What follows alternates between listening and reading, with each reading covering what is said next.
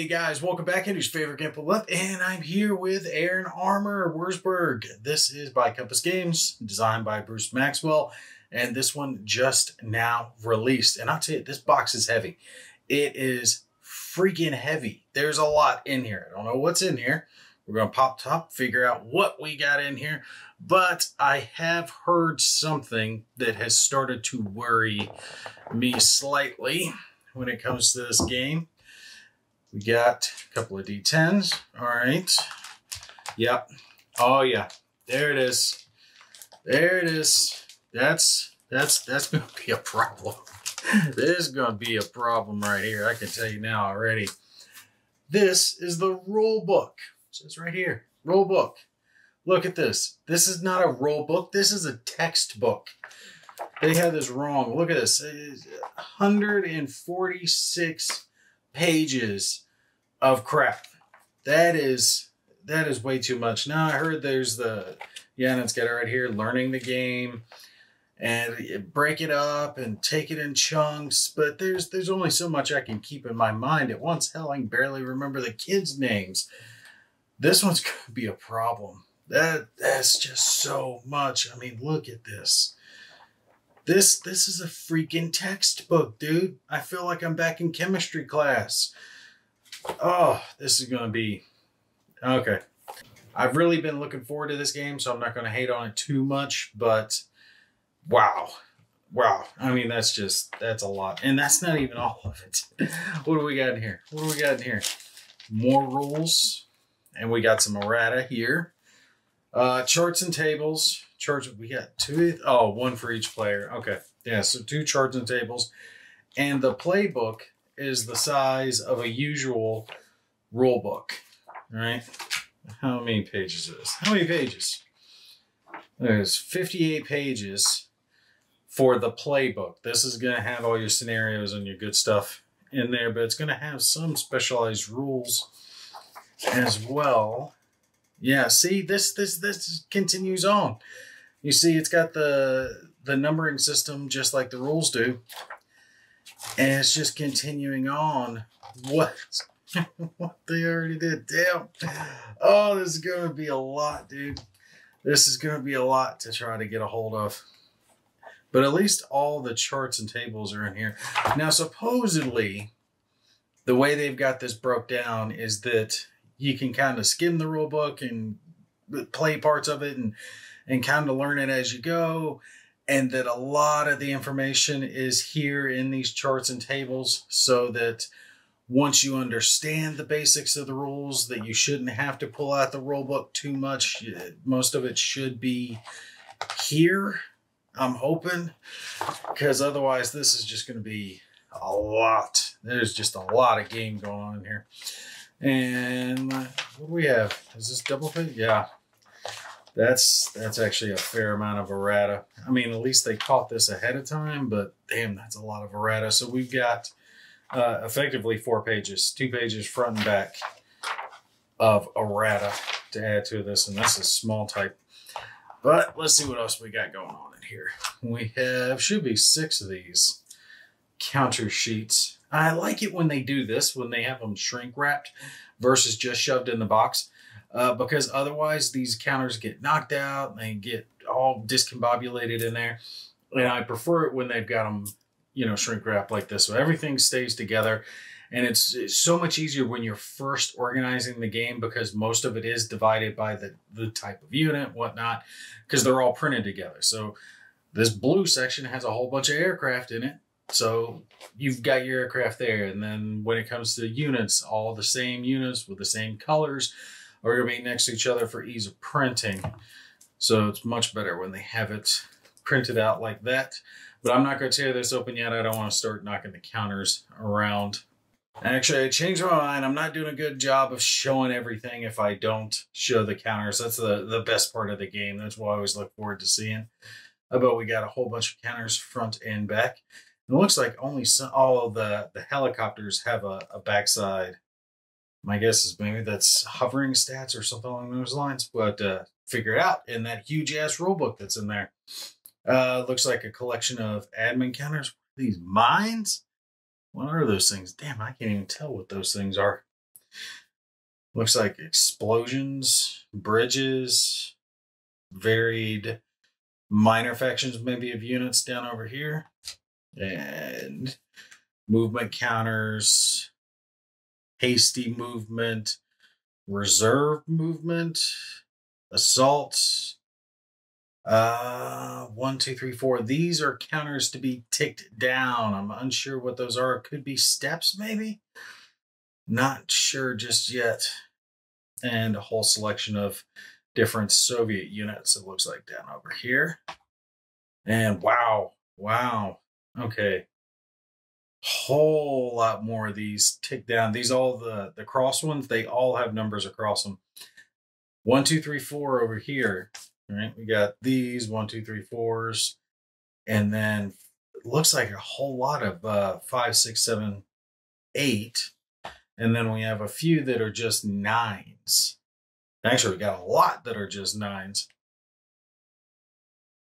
And these look like uh, dug-ins, so improved position, some more bridges, some artillery pieces, rocket launchers. Yeah, it, it looks good. Good God, even more of these things. Half the counters are these little red uh, cross pieces. Wow. All right. Interesting. They're going to be used a lot. And our last thing, most of this seems to be admin type counters or the uh, the majority of the units or the majority of the counters the the units actually occupy a, a small amount of the counters that are actually here uh six sheets of them Let's see shattered deliberate defense some objective counters hq hits. All right so we got a a varied selection of counters there. That's the majority of the weight what all else do we have in here? Oh, look at this. Here's where we start getting into the maps. Uh, the rest of these, these are going to be player aids. So sequence card two, is that sequence of play? Yeah, that's got to be sequence of play. And it looks like there's two cards. Well, these things front and back, front and back. God, there's going to be so many phases to this game. Yeah, because there's two of these, right, for each. Yep, sequence card one, sequence card two. So this is where play is going to start, and it looks like you're going to walk down this thing, flip it over to the back of it, go to here, do the front of this one, and then go here and do the back of this one. I mean, at least it lists down where it is uh, in the rules, but damn, that is a huge sequence of play. Uh, organization for the different types of units where they're going to go. Uh, this looks like, yeah, game turn track, SAM strength, off map, uh, maybe command points, resource points, maybe. Yeah, rearm and refuel. That's helicopter track, victory points, and uh, combat support points. No idea what that is yet. Good God, there's so many player aids in this thing. Look at this. I just I keep pulling them up. There, the Warsaw Pacts organization chart, front and back.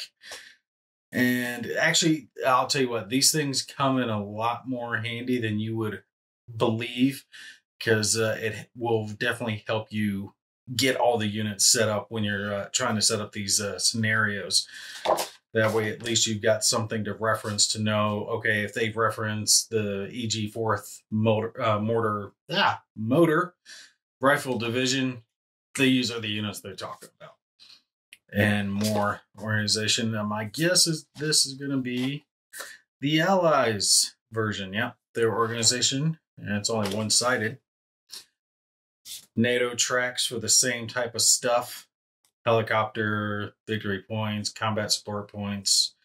They've got some different tracks up here for the different factions. And the Warsaw Pact planning card. Not sure how this is going to be used. Now, I believe this thing has two maps. Yep, it does have two maps. So let's fold out one of these and see how they look. I'll tell you what, feeling it now, this is nice.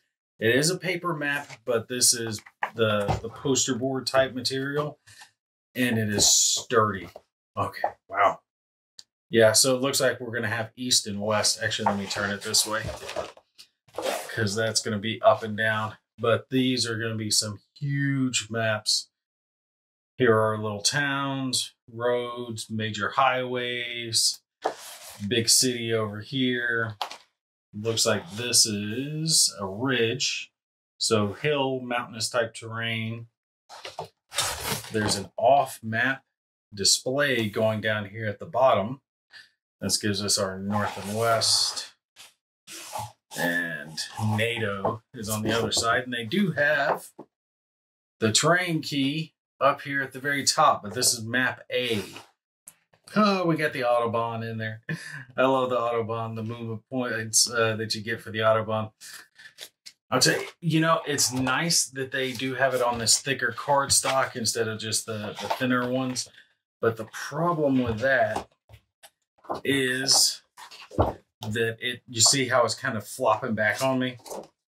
You have to go through and kind of crease this thing down to get it to lay flat. Plus, uh, probably put plexi on it. I can't put plexi on it because it reflects too much into the camera and you guys can't see what's going on. Uh, but if you guys are playing it, I would definitely recommend putting some some plexi down. So this looks like our, our, the left side of our map, but you see both of them have the same information along the top, your your terrain key, and then the off map display stuff, top and bottom. And that's because there are some scenarios that are one sided. So you'll only be on map B or map A. And then, of course, there are scenarios where there's both maps and they are designed to overlap each other, right? So A over here will come over and lay right along here on the edge. I will probably be doing a one mapper just so I can get it all in frame at one time because otherwise that's just to be huge. These are nice though. I will give it to them. Thicker cardstock for the maps is always appreciated because that thin stuff can tear uh, very easily, as Gimpy's gal found out the hard way for me when she tore one of my maps twice in one video. All right, but that is air and armor. There is just a lot in here, huge amount of stuff in this box. And honestly, I can already give it one little nick against it. And that's the fact that I think the box is too thin for the amount of counters that we have in here. Because you got to think, this is flush to the top with everything laying in here perfectly flat, right? So let me, you're watching me put this all back in, right? Here's all our rule book and God, all this information. Our charts and tables, scenario book, playbook, errata, all that. We put all that back in, toss in a couple of dice, but you see, we are flush. We are to the top here, right? And I think honestly, they should give that extra inch when you when you're flush to the top. Once you've taken those counters out, you're never going to get them to lay flat again. Uh, so you either have to use the counter trays or use little baggies, just depending on whatever works for you. But neither are going to fit in this box, and that's something I definitely think uh, publishers should think about when they're putting out their games like okay is this box full? Is there space left in it?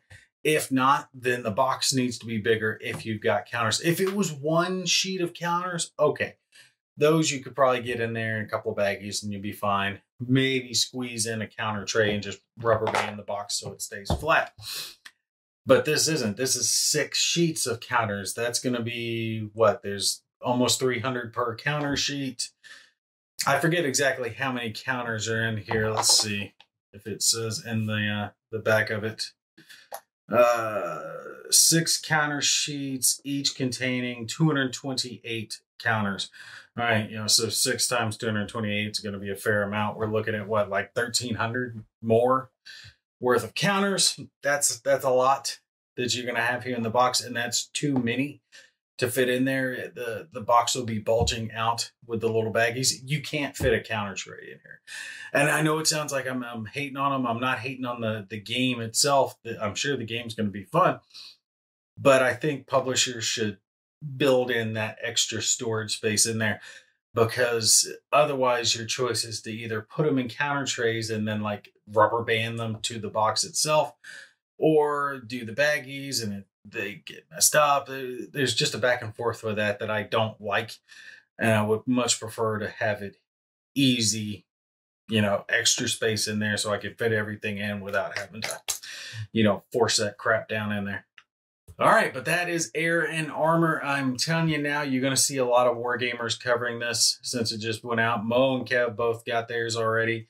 Uh, and I know they're excited to cover it just like I am. I have a couple of things ahead of it. Uh, so hopefully it'll give me some time to learn it. Maybe I'll get it uh, read by 2026, get it to the table by 2028. Because that rule book is just so. I think that's one of the biggest rule books I've had in a game. World at War. World at War's rulebook wasn't even 150 friggin' pages. Uh, Lock and Load Tactical Lock and Load Tactical is uh, more than that, but that's almost a game system. It's expanded over so many years, and it has a fairly good sized rulebook. World at War 85 has a fairly good sized rulebook. Uh, but in those, you got to think about it. You, it has this big rulebook, but once you kind of have it, then there's this whole plethora of games that you can play with it. There's multitudes of games in the lock and load system. There's multiple games in that World War 85 system. There's only one air and armor. So when you're reading that rule book, you're reading it just for this game.